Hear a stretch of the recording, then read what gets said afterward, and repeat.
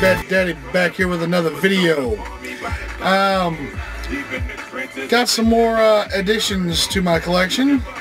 A whole bunch of them. So let's cut the shit and let me show you what I got because I got a whole bunch of crap.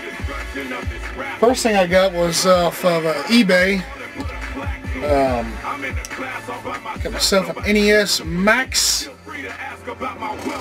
And then the cool thing with it, came with it, was the instruction booklet. Like I needed a fucking instruction booklet to use an NES Max, for Christ's sake. But anyway, on, moving on, uh, picked up a Dreamcast finally.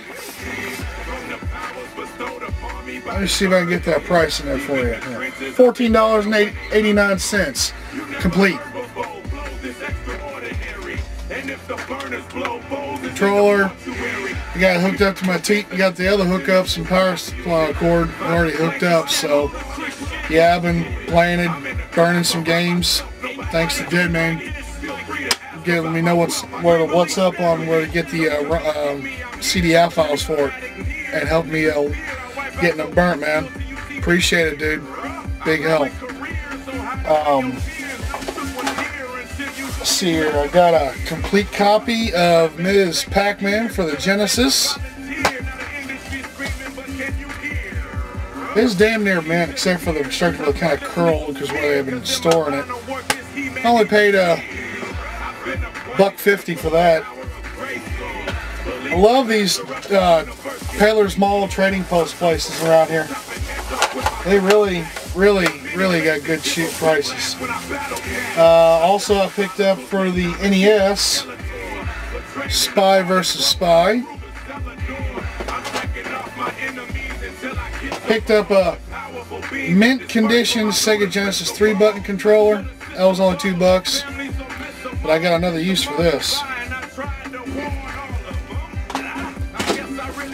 Picked up some Atari games. They're only a buck a piece. Got Asteroids. I got the Sears Telegames version of Space Invaders. Combat. And Missile Command.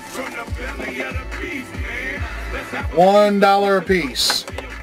Kick ass. And now on to the very, very, very, very good finds.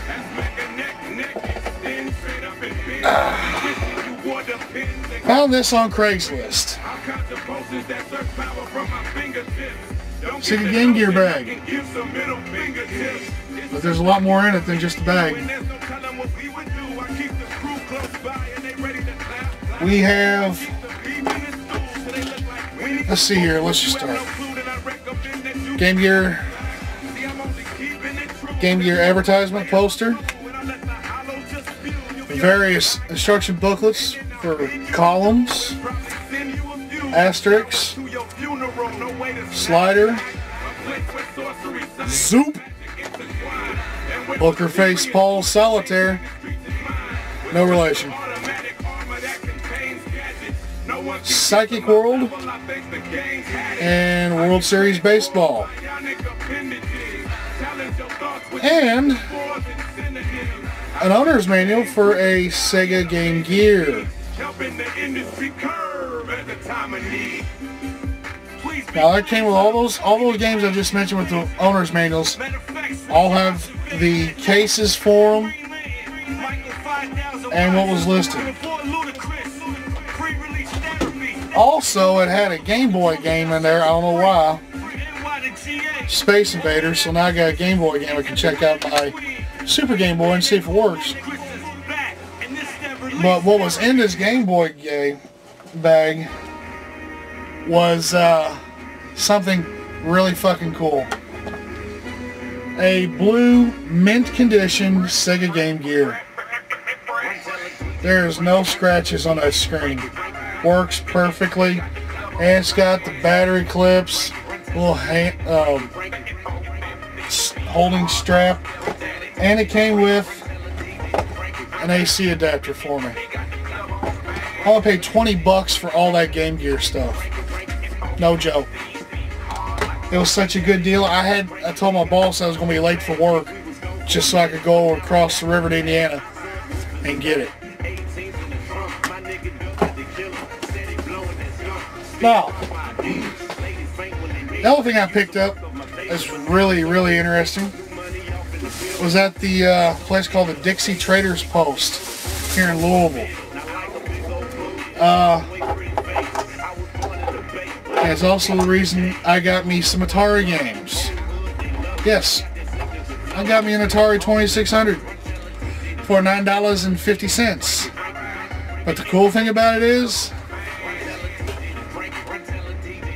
it's the Heavy Sixer, baby. Heavy Sixer 2600 right here. And just to prove to y'all I'm not lying about the price. You can see it. $9.50. it was just for the console. I'll pay that much just for the, for a heavy sixer console. Period. It is in mint condition. There is no paint faded on it. The controller ports are perfect. It's not even fucking dusty. Uh, the contacts inside for the control for the cartridges are in awesome shape. They're still shiny and brass. uh, yeah. Got me a 20, got me a heavy sixer. And also stopped off at uh, Radio Shack got me that uh, was it? This is the part that will allow you to hook it up to any modern television with a coax input. It's called a phono to F-type adapter. This particular one that's not gold plated, which will work just fine, is available at any Radio Shack for $3.39. This will totally eliminate that bulky ass piece of shit switch box all together. $3.39. Or you can find an OEM Atari if you're really hardcore, 20, 30 bucks somewhere. And since it didn't come with an AC adapter, I found one on Amazon, OEM Atari, $6.95, brand new. Sold. So, I'm stoked can't believe the, the Atari and the Game Gear. I was like, wow. So, as always, this is Big Bad Daddy saying, see y'all next video.